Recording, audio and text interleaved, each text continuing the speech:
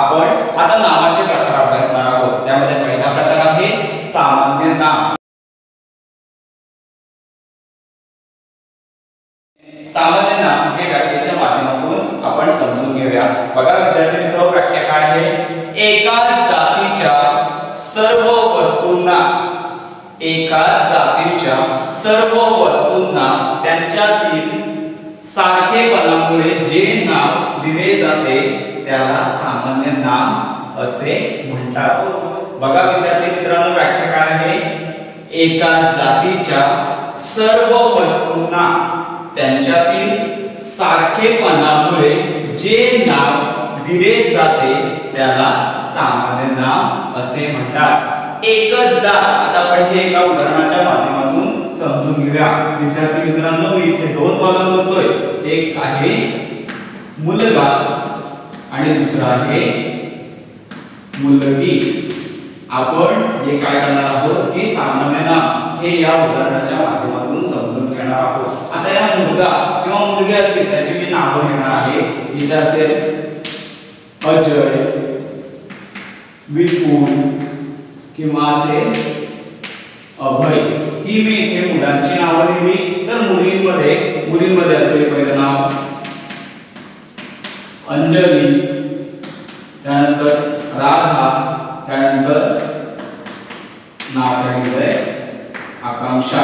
तर इथे मी तर इथे मी मुलांची नावं लिहिली आणि इकडे मुलींची नावं लिहिली. तर हे आपण जर व्याख्येच्या माध्यमातून समजून घेऊया. बघा एका जातीच्या सर्व वस्तूंना त्यांच्यातील सारखेपणामुळे जे नाव दिले जाते त्याला सामान्य नाम असे म्हणतात. ते उदाहरण दिले मुलगा शहर मुलगी झाड इत्यादी.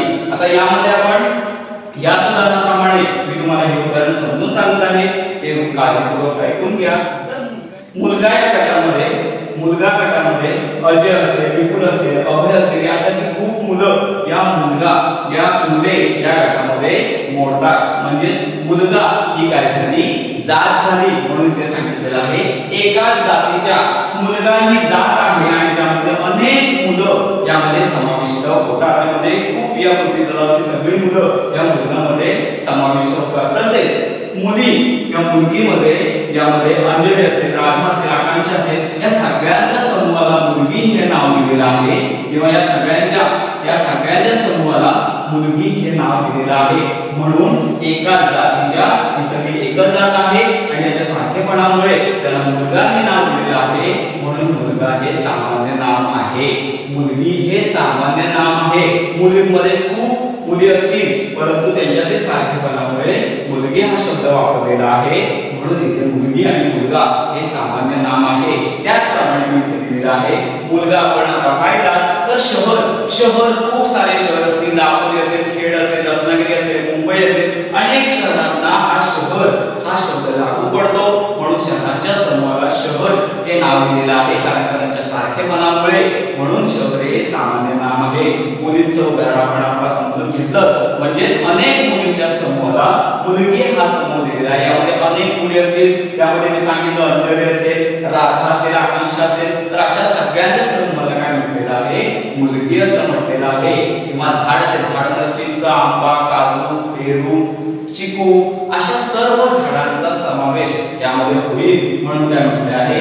एका जातीच्या सर्व वस्तूंना त्यांच्यातील सारखेपणा जे नाव दिले जाते. त्याला सामान्य नाम असे म्हणतात. म्हणजे तुम्ही ते सांगितल्याप्रमाणे एका जातीची मुलं आहेत आणि सगळ्यातील सारखेपणा असल्यामुळे त्याला मुलगा हा गट दिलेला आहे मुलगा हा सामान्य नाम आहे. त्याप्रमाणे मुलगा शहर मुलगी झाड ही काय आहे? सामान्य नाम आहेत. आता एक्झाम्पल मी आता उदाहरण द्यायची झाली म्हणजे इतर उदाहरणं आहेत त्यामध्ये फुलांची नाव असेल तर फुल. फुल हे सामान्य नाम आहे आणि त्याच्या प्रकारामध्ये खूप सारे फुले येतात. त्यामध्ये चमेली असेल चंपा असेल मोगरा असेल तरी सगळ्या फुलांच्या समूहाला फुल हे नाव दिलेलं आहे. म्हणून फुल हे काय आहे? सामान्य नाम आहे. त्याचप्रमाणे जर फळांचा विचार घेतला तर फळ हे संपूर्ण फळांच्या जातीला दिलेलं नाव आहे. तर फळ हे शब्द सगळ्या फळांना लागू पडतं. त्यामध्ये आंबा असेल सफरचंद असेल काजू असेल पेरू असेल तर अशा सगळ्या फळांच्या समूहाला ते नाव लागू पडतं. आणि अशा प्रकारे इथे सामान्य नाम आपण पाहिलेलं आहे. आता खाली आपण उदाहरणाच्या माध्यमातून सामान्य नाम म्हणजे काय हे एकदा पाहून घेऊया. बघा गणेश हुशार मुलगा आहे. गणेश हुशार मुलगा आहे. या वाक्यामध्ये लाल अक्षरामध्ये शब्द दिलेला आहे बघा. मुलगा. तर मुलगा हा शब्द अनेक मुलांना लागू पडतो. पण या वाक्यामध्ये गणेश असेल परंतु या ठिकाणी परंतु या पृथ्वीतलावर असणाऱ्या अनेक मुलांना हा मुलगा शब्द लागू पडतो. मुलांमध्ये दुसरी मुलं असू शकतात. अजय असेल अभय असेल विपुल असेल. म्हणून मुलगा हे काय आहे? सामान्य नाम आहे. पुढे बघा. हिमालय उंच पर्वत आहे तर पर्वत हा शब्द हिमालय सोडून इतर अनेक पर्वतांना लागू पडतो. म्हणजे अनेक पर्वतांच्या समूहाला पर्वत हा शब्द लागू पडतो. म्हणून पर्वत हे काय आहे? सामान्य नाम आहे. त्याचप्रमाणे मुंबई हे प्रसिद्ध शहर आहे.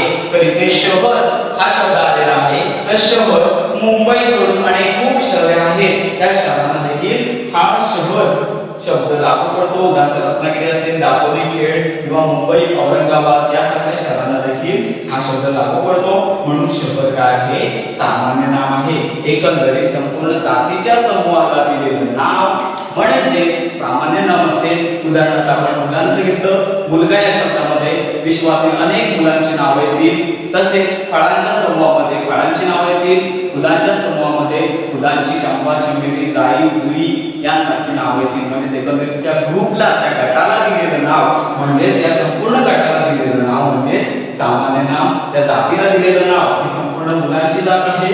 मुलगा ही जात आहे. त्या जातीला दिलेलं नाव सामान्य नाव. मुलीच्या जातीला म्हणजे मुलगी हे काय आहे? सामान्य नाव आहे. तर अशा प्रकारे आपण सामान्य नावाचा अभ्यास केला. तो आपण यानंतर नावाचा दुसरा प्रकार त्याचं नाव आहे विशेष नाव. आपण अभ्यासणार आहोत.